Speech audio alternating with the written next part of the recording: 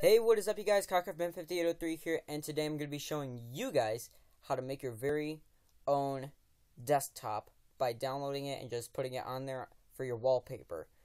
So, let's get to it.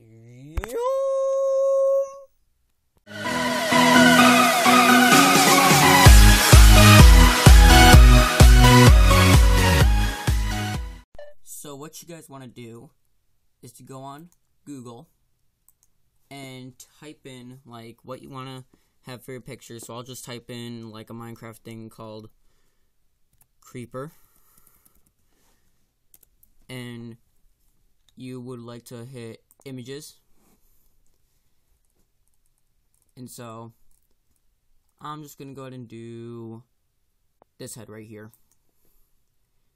Click view image.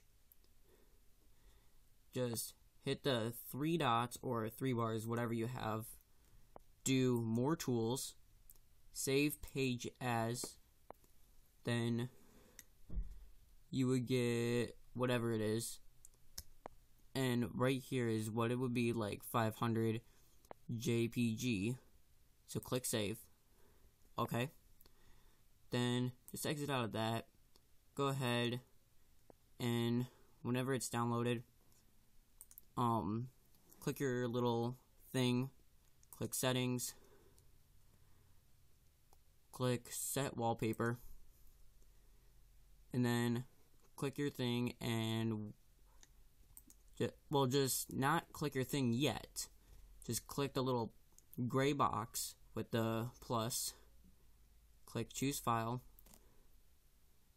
let it load.